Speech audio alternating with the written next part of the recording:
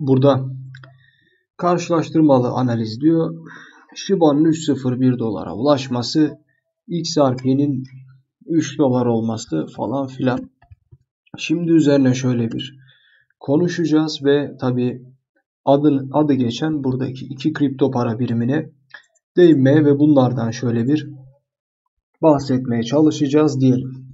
Tabii ki beğeni bırakmayı ve abone olmayı unutmayın lütfen. İzleyenlerden ricamdır. Saniyenizi beğenir ve abone olursanız çok memnun olurum. Bunlar iyi olur. Şimdiden teşekkür ediyorum. Beğeni bırakanlara da tabii ki de abone olanlara da. Eğer isterseniz Facebook ve Twitter'dan da takip edebilirsiniz. Katıl üyesi de olabilirsiniz. Bunların da linkleri açıklamalar kısmı altında vardır. Dileyenler oradan e, takipte bulunabilirler. Ama tekrar söylüyorum dediğim gibi e, bir saniyenizi ayırın lütfen. E, beğenin ve abone olun. Tekrardan teşekkür ediyorum. Beğenip abone olan herkese önemli şeyler.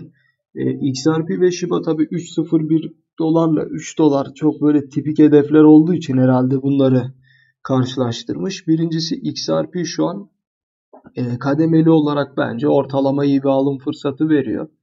E, burada şöyle bir durum var. Tekrar söyleyeyim bunu.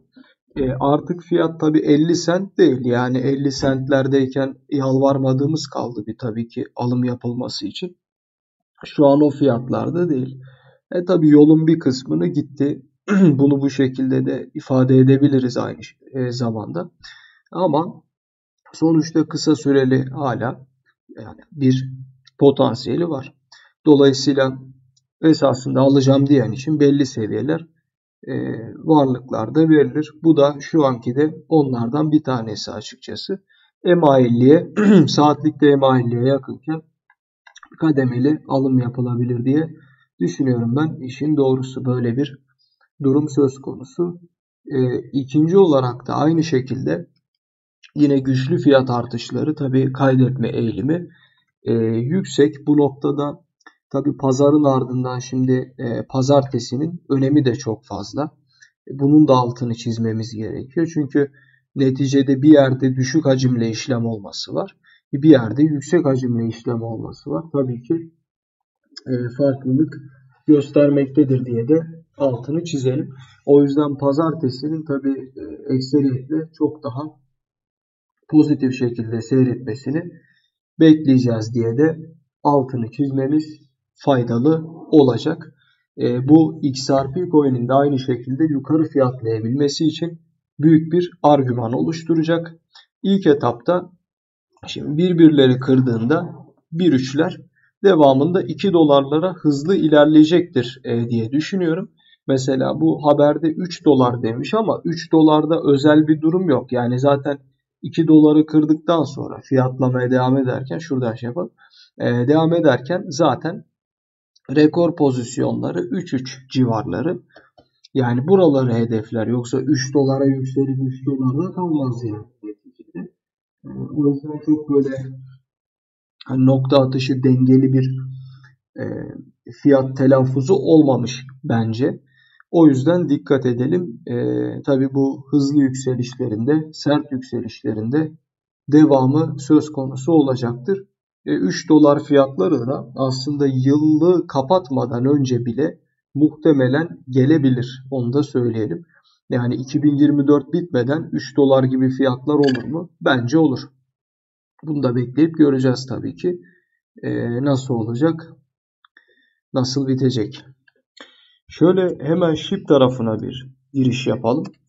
SHIP şu anda yani ikisi arasındaki farklı özellikle tabi SHIP şu anda bir XRP değil. Yani XRP kadar kısa vadeli bir fiyatlama göstermedi.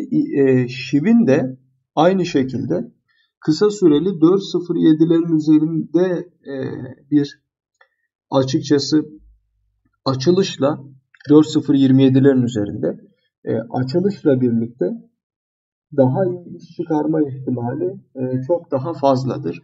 Kısa sürede bir tabi aynı şekilde FOMO oluşacaktır diye durumun altını çizmemiz mümkün.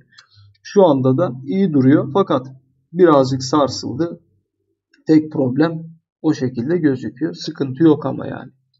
Genel performansında bir problem yok ve hala yön yukarı eğilimli. Yani bir şey yok. Nasıl diyeyim? Genel bir negatiflik e, söz konusu değil açık söylemek gerekirse.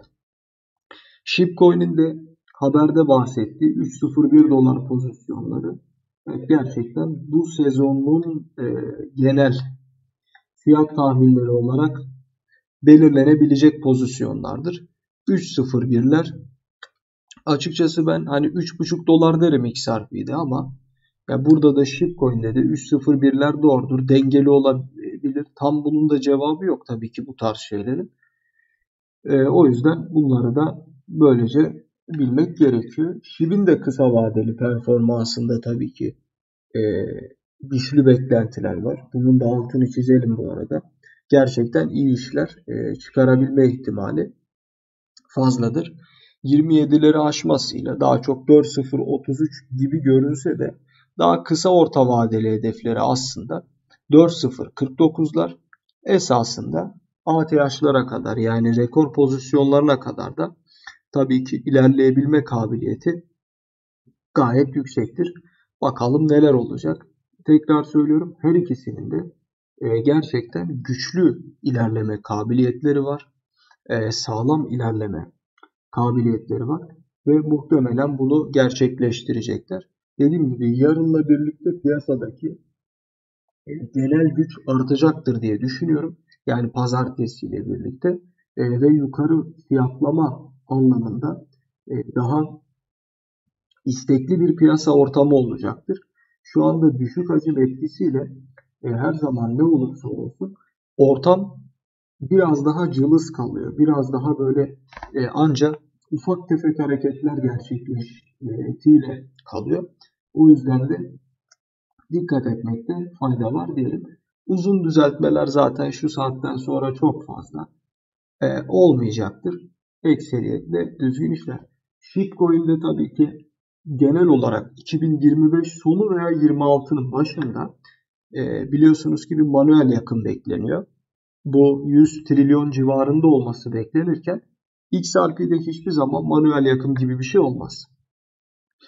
Sadece 2026'da e, yani artık unlocklar duracağı için artık e, yakımların arz üzerinde deflasyon yaratması bekleniyor. Günün ilk videosunda bununla alakalı biraz daha detaylı konuştuk.